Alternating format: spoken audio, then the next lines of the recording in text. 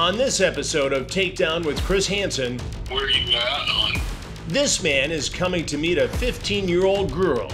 He may move slowly, but he's deliberate and definitely dangerous. He's got a 40 cal and a 22 registered to him, so be aware. But I'm the one who's armed with the details. I was listening to the phone call. Just stay put. Keep your hands where I can see them. And he actually thinks he can buy his way out of this jam. Can I just give you some money and leave? I don't want money. I want the truth.